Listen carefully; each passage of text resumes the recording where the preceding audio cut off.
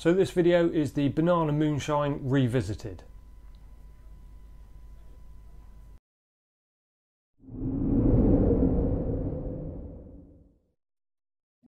So this banana syrup moonshine is pretty much the same as what I did in my other video.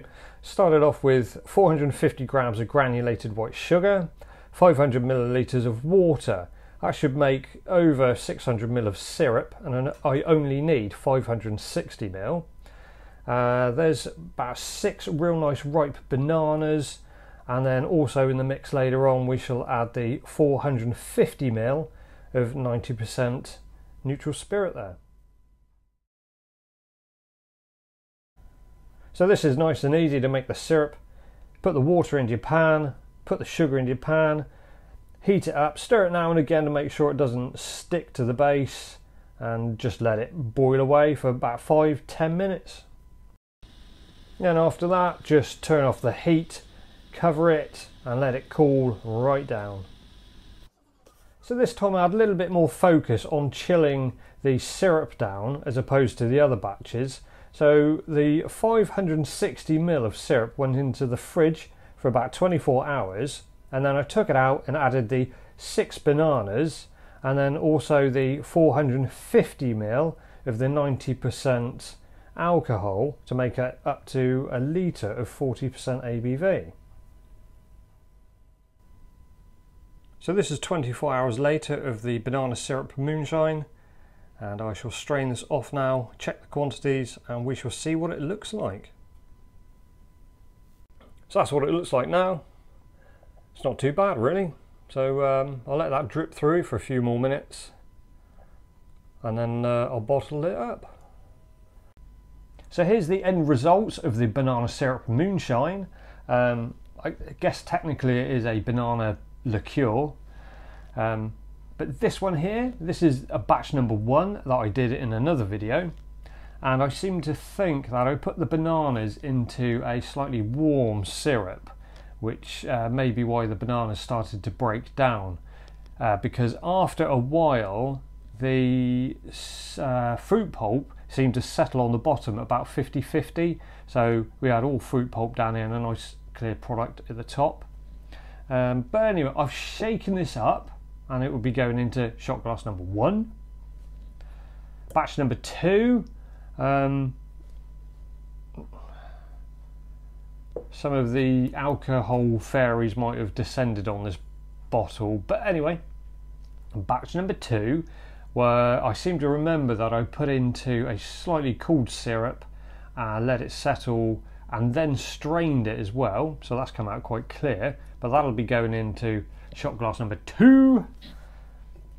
Batch number three, which is what this video is about. Um, I've let this settle for maybe over a week and there was some fruit pulp in the bottom which I've decanted into this bottle here. So the semi-clear product of batch number three will be going into shot glass number three and the fruit pulp from batch number three will be going into shot glass number four. Mm, so let's get on with a little bit of tasting, shall we? So here I am back again after a quick taste test. Um, I'm not too finicky about stuff. I don't go around going, oh, oh, oh, the bouquet on this one is reminds me reminiscent of running naked through daisies on a summer's day. And, and no, I don't do that very much. Um, my taste range is a very narrow one at the beginning where I don't really like whatever it is I'm tasting or drinking, and then a massive broad band of stuff that is, yeah, nice, which I like, and then a very narrow band at the end of stuff that mm, is absolutely lovely. So, with that in mind, batch number one, shook it up, and my notes say it came out very banana it was 10 out of 10 and not that sweet. It was sweet enough. So that worked fine. Batch number two was the clearer one. Um, I don't know why. It does smell uh, more alcoholic content than the others. Um, but flavour wise was 10 out of 10 again. It's This, the aroma was totally different, but the taste seemed to be exactly the same. Still sweet and still pretty banana-y. Go figure. Number three, this one I've got down as being very banana-y, absolutely on par with this one, 10 out of 10, but more sweeter. Possibly because this hasn't had as much time to mature as this one, but I've got high hopes for this beastie.